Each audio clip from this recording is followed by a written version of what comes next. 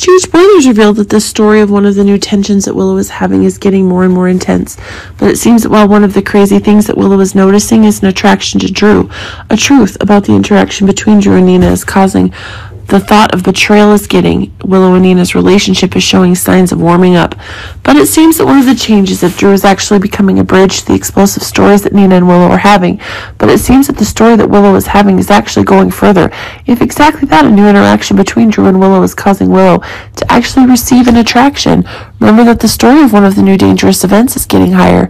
Seems one of the explosions in the belief is getting as Michael is getting more and more conflicted towards Willow. This is making the elimination itself confirmed, but it seems that one of the new disasters is getting further, and as one of the new eliminations is getting, will make Willow herself realize one of the big dangers that Drew and Nina are having interactions with each other.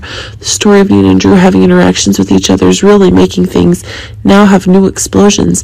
If one of the new shocks is getting higher and higher, it seems one of the ideas of a love development is getting. If Willow realizes Drew's helping Nina get closer to her just for sex, she will feel used and betrayed. She puts him on a stool with pedestals, so if she finds out he's manipulating her to help Reeve, she can not only release her mother but him as well. Willow is now accepting Nina as her mother, and this is causing an attack to be made with major characteristics.